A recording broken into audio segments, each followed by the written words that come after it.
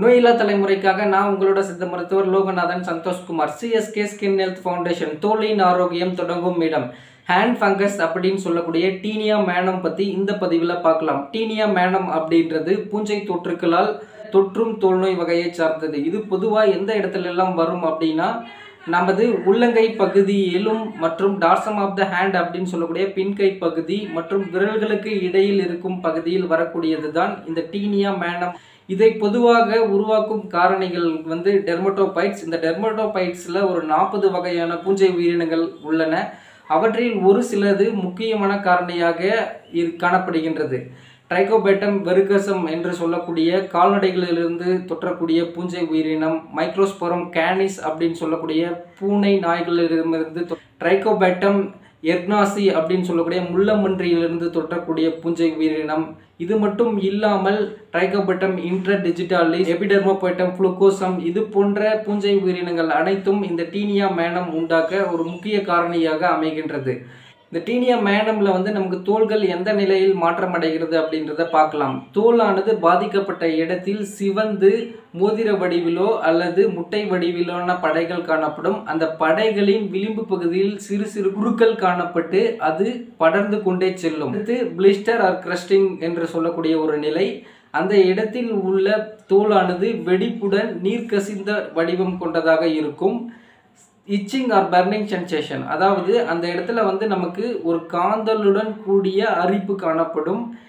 தின்னி skin lesions இருக்கும். அந்த தோலானது நாள்பட்டு செல்லும் பொழுது நமக்கு தடித்த நிலையை அடையும். இந்த தோல் வெடிக்கும் நிலைகளில் ஒரு சில நேரத்தில் அதில் வந்து நீர் கசிதல் போன்ற நிகழ்வுகளும் காணப்படும். ஆபத்தை உண்டாக்கும் காரணியாக யார் யாருக்கெல்லாம் அமையும் அப்படின்னா ஒரு நீரிழிவு நோயாளிகள் அதிக உடல் எடை கொண்டவர்கள் லாங் டைமாக வந்து ஒரு இம்யூனோ சப்ரஸிவ் ட்ரக் எடுக்கிறவங்க ஆட்டோ இம்யூன் டிசார்டர்னால பாதிக்கப்பட்டவங்களுக்கெல்லாம் இது வந்து ஒரு பாதிப்பை உண்டாக்கும் நிலையாக இருக்கும். நோய்கணிப்பு முறை தோலை வந்து நம்ம வந்து ஒரு ஸ்கின் ஸ்கிராப்னு சொல்லக்கூடிய முறையில் உட்ஸ்லாம்ப் அல்லது டெர்மாஸ்கோப் மூலயமா பார்க்குறப்ப நமக்கு இந்த ஸ்கின் லீஷன்ஸ் ஃபீச்சர்ஸை வச்சு இதை கண்டுபிடிக்கலாம். மற்ற தோல் நோய்களோடு ஒத்து காணப்படும் நிலை சொரியாசிஸ்னு சொல்லக்கூடிய ஆட்டோ இம்யூன் டிசார்டரில் நமக்கு பல்மார் சொரியாசிஸ்னு சொல்லக்கூடிய கண்டிஷனில் நமக்கு உள்ளங்கை வந்து வெடித்து அதிலிருந்து செதில்கள் உதிர்ந்த நிலை இருக்கும். அக்யூட் வெசிக்லோ புல்லா ஹேண்ட் எக்ஸிமான்னு சொல்ல சின்ன சின்ன குருக்கள் உண்டாகி அதில் சீல் கோர்த்த ஒரு காண்டக்ட் டெர்மடைட்டிஸ் அப்படின்னு சொல்லக்கூடிய ஏதேனும் ஒரு அலர்ஜி ஒரு தொழிலை சார்ந்து உள்ளங்கை பகுதியில் ஒரு சில தோல் நோய்கள் உண்டாகும். அதை இந்த டீனியா மேனம்னு சொல்லக்கூடிய பூஞ்சை தொற்றிலிருந்து வேறுபடுத்தி உணர வேண்டும். மருத்துவ ஆலோசனை முறைகள். ஒருவரிடமிருந்து மற்றவருக்கு பரவும் தன்மை கொண்டது. அதனால் ஒரு நார்மலாக இருக்கக்கூடிய பர்சன் கூட இவங்க ஸ்கின் கான்டாக்ட் இருக்கிறத கூடுமான அளவில் தவிர்க்கணும். இவங்களோட ஓன் திங்ஸஸ் எல்லாமே தனியாக வச்சிருக்கணும். பாதிக்கப்பட்ட இடத்தில் இருக்கும் தோலானது வறட்சி தன்மை இல்லாமல் ஒரு மாய்ஸ்சரைசிங் நிலையில் இருக்கணும்.